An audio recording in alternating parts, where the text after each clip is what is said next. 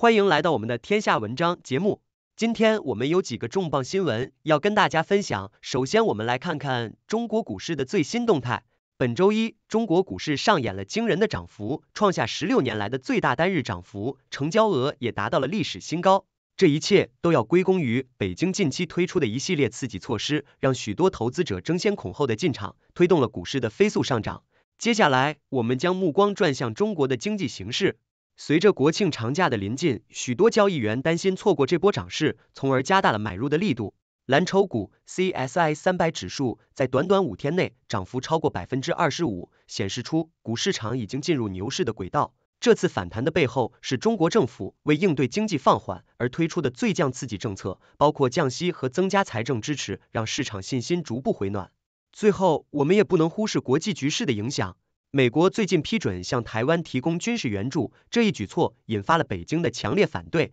并再次加剧了台海紧张局势。同时，奥地利的选举结果也显示出极右翼政党的上升趋势。这一切都在提醒我们，全球政治经济形势瞬息万变，值得我们持续关注。请大家继续收看详细内容。中国股市上演狂飙，刺激措施推动股市翻红。德国之声。德国之声中文网本周一九月三十日，中国股市迎来了十六年来单日最大涨幅，成交额也创下历史新高。北京近日祭出的一系列刺激措施，大力推动了股市的上涨。蓝筹股 CSI 三百指数较二月低点上涨近百分之三十。根据一些市场的定义，这表明股已进入牛市走势。大幅疯涨开始在上周的几个交易日内。本周二，中国开始国庆长假，许多交易员担心错过这一波上涨机会。这种情绪推动 CSI 三百指数在收盘时大涨百分之八点五，五天内累计涨幅超过百分之二十五，刷新了历史记录。与此同时，上证综合指数总成交量达一点一七万亿元人民币，涨幅达到百分之八点一。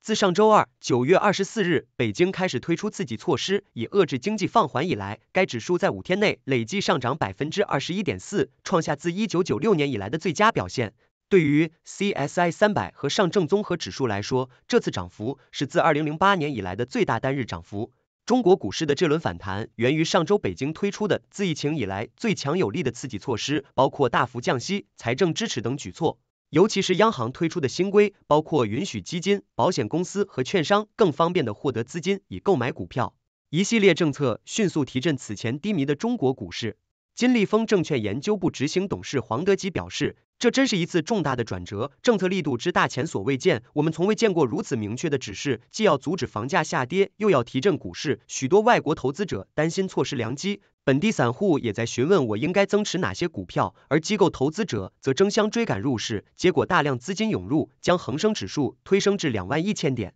香港恒生指数周一上涨百分之二点四，目前年内累计涨幅约为百分之二十四，已超过台湾，成为亚洲表现最佳的股市。周日，九月二十九日，央行宣布房贷利率下调方案的同时，广州、上海及深圳都宣布调整房地产政策，预感在今年最后一季带动房市交易。这些举措让房地产股票大幅上涨。周一，内地上市的房地产股飙升百分之八点二。彭博社指出，尽管近年来这中国股市多次出现假曙光，但越来越多人相信这次可能会有所不同。当局展现出强烈的紧迫感，誓言实现今年大约百分之五的经济增长目标，市场信心正在回暖。路透社等。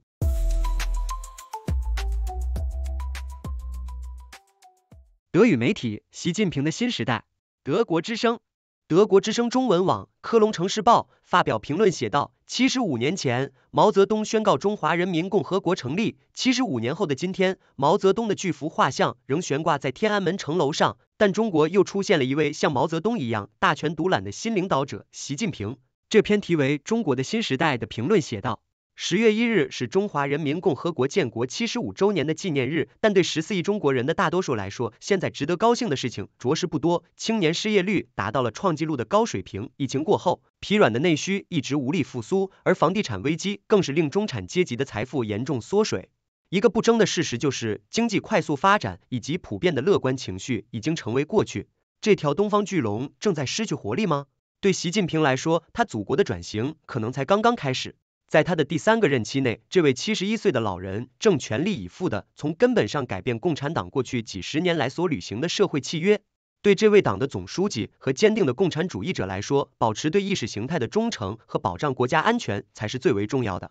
他向人民承诺的不再是发家致富，而是要增强爱国自信。在他的中国梦愿景中，娇生惯养的年轻一代应该勒紧裤腰带，为建设强大的社会主义国家而努力工作。这个社会主义强国虽然在科技领域取得了诸多成果，在国际舞台上显得日趋自信，但个人致富则不再受到鼓励。恰恰相反，习近平在其历次讲话中已经多次明确表示，他反对以欧洲为样本的腐朽福利国家，因为这样会摧毁人民的劳动意志。评论指出，习近平的治国理政方式究竟在多大程度上得到民意的支持，这一点无从考证，因为在中国，任何人胆敢对中央政府提出批评，都会遭到严厉的惩罚。过去几年来，很多企业家选择用脚投票，数十万人前往新加坡、日本和美国移民。东部沿海城市的年轻人也对糟糕的经济前景和这个不断以其价值观干预人们日常生活的政党感到沮丧。不过，乡下却是截然不同的景象。很多人家里仍挂着毛泽东画像，而习近平掀起的反腐运动也被人们广泛称道。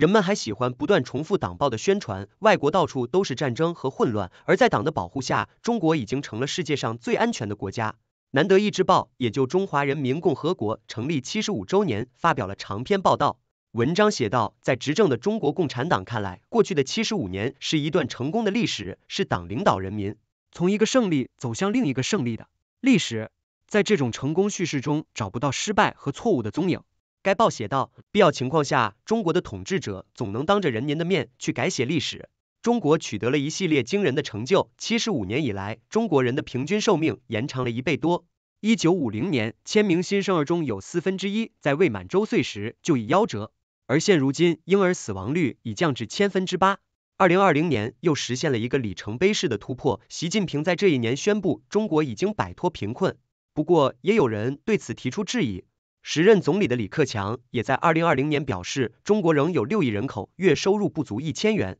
当前的事态不容乐观。这一点从中国海外项目开始追求小而精中也可以看出端倪。经历了三十年的快速发展之后，中国现在面临着严峻的问题，人口发展趋势就是一个例证。七十年代末开始，大多数中国人只被允许生养一个孩子，今天的现实说明政府当时严重决策失误。目前，每五个人当中就有一人超过六十岁。中国人口老龄化问题的严重程度，可能很快就会赶超日本。养老金体制面临崩盘，而医保系统更是千疮百孔。毛泽东当年要打造一个伟大的民族，而现如今，中国人口却在不断萎缩。摘译自其他媒体，不代表德国之声观点。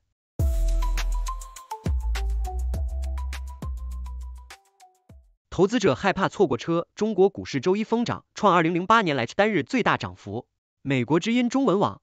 受当局一系列应急刺激措施的激励，投资者争先恐后的买入，使中国大陆股市周一九月三十日暴涨，创下自二零零八年来的最大单日涨幅。国内股创下历史最高成交量。路透社报道说，上证综指 Shanghai Composite Index 大涨二百四十八点九点，升至三千三百三十六点五零点。涨幅为百分之八点零六，交易量达到一点一七万亿元。自上周二北京推出一系列刺激措施，以阻止更广泛的经济放缓以来，上证综指五天的涨幅达到百分之二十一点四，为一九九六年以来的最高水平。作为中国第二交易所的深证综指 Shenzhen Composite Index 则飙升百分之十点九三，或一百八十九点九一点，涨至一千九百二十七点四八点，交易量达到一点四万亿元。沪深三百指数 CSI 三百蓝筹股从今年二月的低点上涨了近百分之三十。根据一些市场定义，该指数表明目前处于牛市中，但是大部分回升涨得太快，主要来自上周以来的几个交易日。报道表示，许多投资者担心他们可能会错过周二开始的七天十一长假期之前的上涨，因此积极买入，帮助提振了沪深三百指数，收盘时上涨百分之八点五。使其五天涨幅超过百分之二十五，创下有记录以来的最强涨幅。报道表示，周一也是自二零零八年以来沪深三百指数 CSI 和上证综合指数指数 SICC 的最佳单日涨幅。上周二以来，中国政府宣布了从大幅降息到财政支持等一系列自新冠病毒大流疫以来最激进的刺激措施，试图支撑持续陷入困境的经济。为了提振股市，中国的央行中国人民银行 （PBOC） 还推出了两种新工具来支撑资本市场，其中一项包括互换计划，允许基金、保险公司和经纪人更容易获得资金以购买股票。这犹如为长期受挫的中国股市注入强心剂。这些股市在本月初还徘徊在多年的低点附近，因为投资者对中国的增长前景感到担忧。这真的是一个大转变，政策如此密集，我们从未见过如此明确的指示来阻止房价下跌并支持股市。金利丰证券 Kingston Securities 研究执行董事黄德己 Dicky Wang 说，很多外国投资者害怕错过机会，本地散户投资者问我应该加仓什么，机构投资者纷纷涌入市场，迎头赶上，大量资金流入已将恒生指数推高至两万一千点。香港恒生指数 Hang Seng Index。周一也上涨百分之二点四三，升至两万一千一百三十三点六八点，涨幅为五百零一点三八点。香港股市今年已经回升了约百分之二十四，取代台湾成为亚洲表现最好的股票市场。报道说，推动这一积极势头的另一个举措是，中国央行周日称将告诉银行在十月三十一日之前降低现有住房贷款的抵押贷款利率，作为支持陷入困境的房地产市场的全面政策的一部分。南方重镇广州市也在同一天宣布取消所有购房限制，而上海和深圳则舒缓了购房限制。这些举动激励了房地产公司的股价飙升。在中国大陆上市的房地产股周一上涨了百分之八点二，而恒生内地房地产指数 （SMPI） 也高升百分之六点四。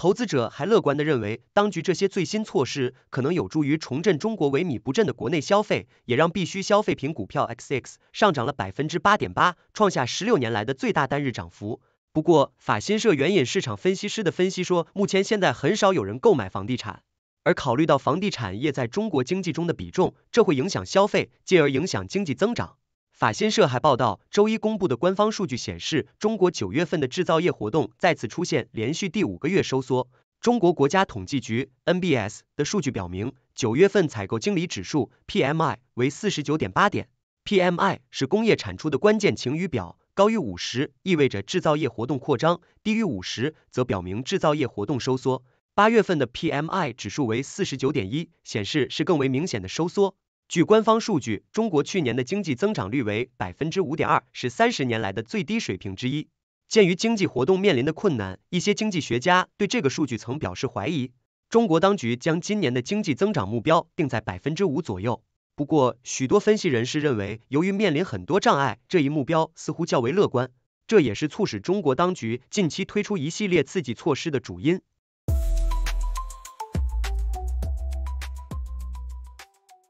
中共建政七十五年，分析习近平影响力仍存，国内外挑战恐加剧。美国之音中文网：中华人民共和国十月一日将迎来建国七十五周年，习近平是中共建政以来唯一任期超过十年、迈入第三任期的国家主席。分析人士说，大权在握的习近平高举。实现中华民族伟大复兴的中国梦，如此强烈的民族主义对一整个世代中国人的影响之甚，在未来中国迈向二零四九年建国百年的路上，绝不容忽视。走过四分之三个世纪的中华人民共和国，以中国共产党为核心的党国体制依旧牢不可破，而巩固其统治的两大支柱，分别是立国之初就被视为根本的民族主义及长达数十年的高速经济增长。一中共以党领政的。体制，习近平除手握党的总书记和中央军委主席之权柄，更是中国自一九四九年建政以来唯一的三连任国家元首，在位时间最长的国家领导人。因此，十一建国七十五周年前，在无任何迹象显示习近平将于第三任期终结后主动退休的前提下，下一代中国人不禁要问：当二十五年后的建国百年到来时，中国将是何景况？学者：习近平灌输两代中国人进攻性民族主义。分析人士指出，随着中国经济成长放缓，习近平愈加倚重操弄民族主义。香港浸会大学政治及国际关系荣休教授高静文 （John Pierre Cabistan） 年初曾告诉美国之音，习近平通过提出民族复兴的诉求和强化宣传等手段，深入发展所谓的进攻性民族主义。美国詹姆斯敦基金会 （Jamestown Foundation） 的资深研究员林和利也说，中国年轻人热血而单纯，是最容易遭民族主义冲昏头的群体。他说，习近平在位十二年，已通过中共宣传机器，将这种进攻性的民族主义植入一整个世代年轻人的脑海中。若让习近平再做完两任，至少有两代的年轻人会受到这种强烈民族主义的洗脑。中共七月开完二十届三中全会后，林和利曾撰文分析，连任三届的习近平，透过其习近平思想指引共产党和国家，保证他继续担任党政军三位一体的最高领导人。换言之，二零四九年建国百年前，在习近平思想以及进攻性民族主义下成长的一辈人，将成长为中国社会的中坚分子。林和利认为，这些新一辈的年轻人将勇于对外斗争，眼里也容不下妥协，恐为中国带来灾难。林和利告诉美国之音，中共的宣传机器很厉害，所以他民族主义是影响到一两代的年轻人的思想，跟他们对于发展国家的理念。对于中国以后的发展，我还是不太乐观。在台北的台湾大学政治学系副教授陈世民则说，习近平标榜的中国梦，即承袭了毛泽东一九四九年十月一日在天安门广场喊出的口号：“中国人民站起来了。”他说，习近平二零一二年上任不久后，即提出民族主义色彩强烈的中国梦。他又在二零一七年的中共十九大上揭示其要在二零四九年全面建成社会主义现代化强国的野心。一般认为，习近平意在与美国争霸。习近平打破中共接班设计，恐加剧夺权斗争。陈世民认为，习近平着眼的并非只有第四任，而是终身制。不过，他越搞不定经济，就只能诉诸民族主义和爱国情操来确保其统治正当性。最经典的手法，自然是通过对外强硬的军事手段，以转移内部矛盾。现年七十一岁的习近平能否掌权掌到二零四九年，尚未可知。但对中国而言，现在最迫切的政治危机是权力继承的不确定性。陈世民说，中共的二把手，国务院总理李强，及排名第五，但被习近平视为头号心腹的中央书记处书记蔡奇，都非潜在的接班人选。若接班人从缺，万一习近平突生变故，届时党内掀起的权力斗争将是场腥风血雨。陈世民告诉美国之音，未来很大的变数当然就是要当习近平接班人引起的权力斗争，可能会让中国于斗争之下处于某种程度的政治混乱，使得他的对外政策将是个不理性的状态。美国詹姆斯敦基金会的林和利则说，无论习近平的接班人是谁，由他打造的高度集权体制仍将延续下去，而中共昔日的九龙治水领导模式恐不会再现。他说，目前中共党内还未看到明显的改革开明派官员冒出头，只有遵循习思想而得势的官员，他们当然会遵循习近平定于一尊的既定路线。因此，二零四九年前，中国恐仍长期笼罩在习思想的教条下，经济疲软或为中共长期执政埋下地雷。分析人士说，长期而言，中国最大的执政挑战仍是维持高速经济成长。但随着以后经济复苏力道疲软，房企连连暴雷，股市也起伏跌宕，中国经济前景不佳的阴霾恐将持续多年。其中最让北京当局的头痛的，恐是高企的青年失业率。去年六月，十六至二十四岁年龄层的青年失业率达百分之二十一点三，创历史新高，逼得官方盖牌暂停发布该数据。即便统计方式优化后，今年八月的青年失业率仍停留在百分之十八点八的高档。联合利说，高失业率引发中国社会动荡，民众也将对中共的统治正当性心生质疑，这是中国迈向建国百年的最大不确定性。台湾学者陈世民也同意，经济走缓下，人民不满情绪急需找到宣泄口，导致中国近年来有记录的抗议事件数量持续攀升。根据国际人权组织自由之家 （Freedom House） 旗下中国意义监测 （China Dissent Monitor）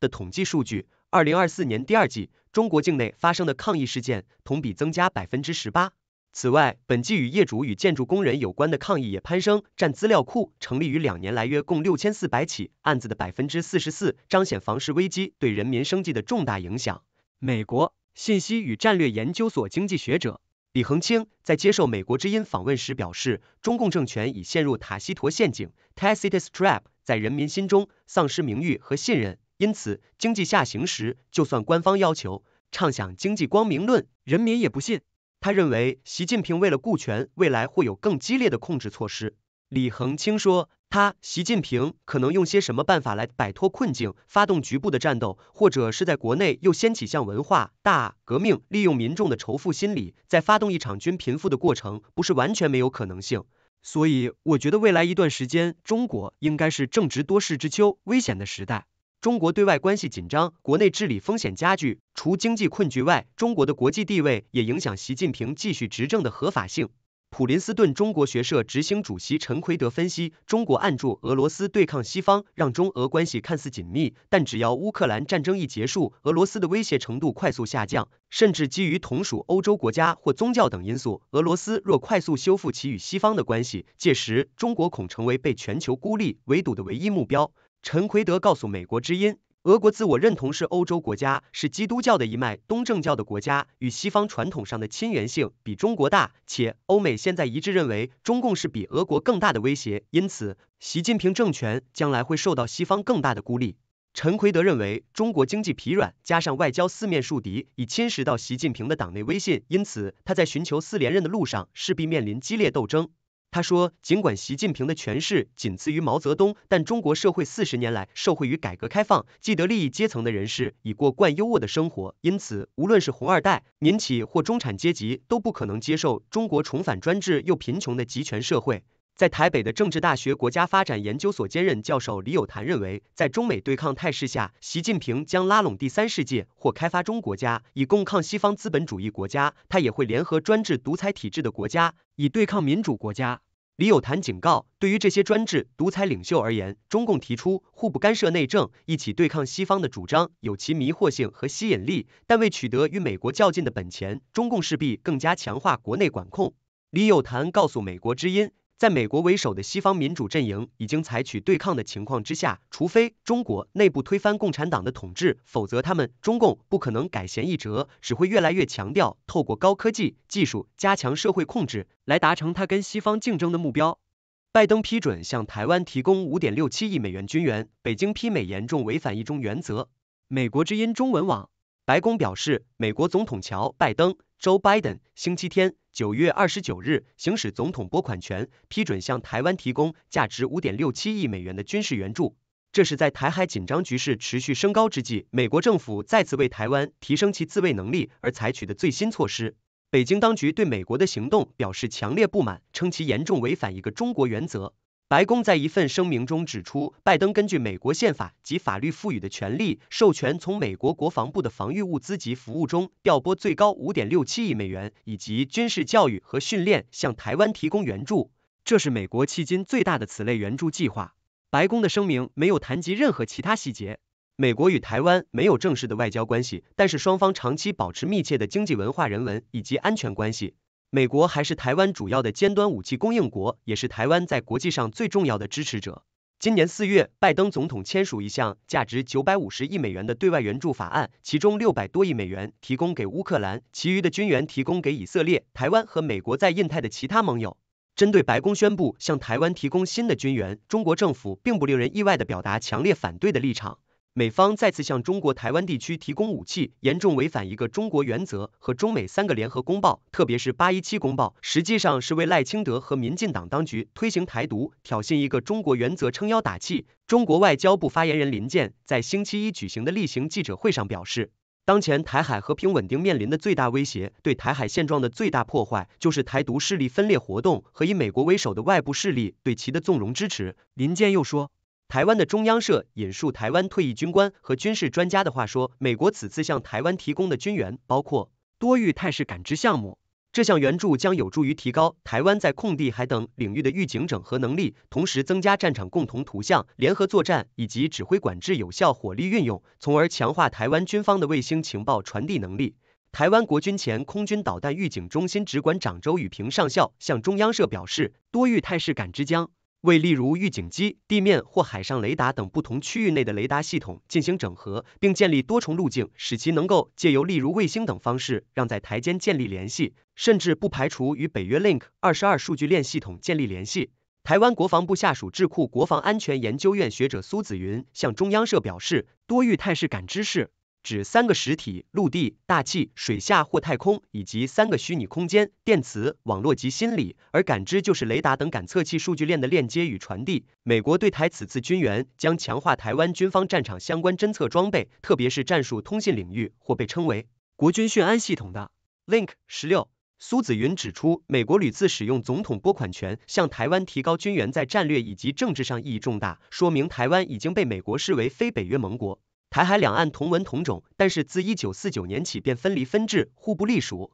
北京当局坚持拥有对台湾的主权，而且即使诉诸武力，也要实现两岸的统一。台湾的民进党政府则坚持认为，台湾的未来只能由其两千三百万人民自行决定。奥地利大选，极右翼政党获胜。德国之声，德国之声中文网在奥地利周日九月二十九日举行的议会选举中，极右翼的奥地利自由党成为最大政党。该党获得了约百分之二十九的选票。紧随其后的是现任总理内哈默 （Karl Nehammer） 领导的保守派奥地利人民党，获得约百分之二十六的选票，社民党得到约百分之二十一的选票，执政的绿党百分之八，自由派新奥地利与自由论坛党获得约百分之九。从选票的得失情况看，自由党增加了近十三个百分点，人民党失去了约十一个百分点，社会民主党基本保持不变，绿党损失了近六个百分点。这个选举结果意味着，自第二次世界大战结束以来，奥地利人民党和社民党交替独大的局面画上了句点。而在当下的欧洲，很多国家向右转的趋势还在继续。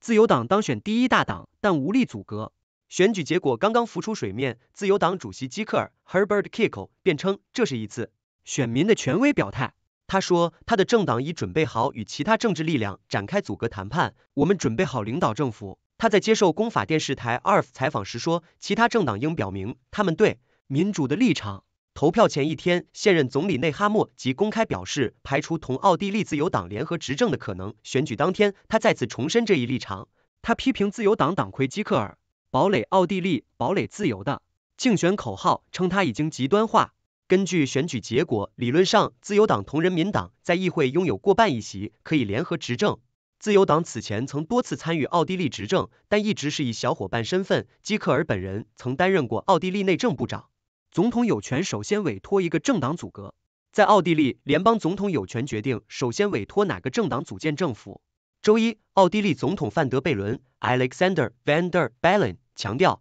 他将确保在组建政府的过程中，法治国家、三权分立以及人权和少数群体的权利不容改变。但总统同时敦促各政党展开组建政府的谈判。他表示，现在是相互接触、对话、协商，以达成良好且稳固的妥协的时候。找到这些解决方案可能需要时间，女士们、先生们，这段时间是值得花费的。综合报道，思想先驱报，成为有洞察力的人。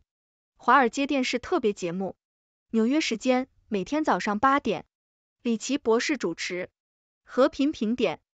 谢谢大家收看以上节目，这是我们的编辑团队为大家搜集整理的认为有价值的信息观点，但是并不一定代表我们立场，不作为任何行为的建议。欢迎大家为我们的节目点赞，订阅我们的频道，谢谢。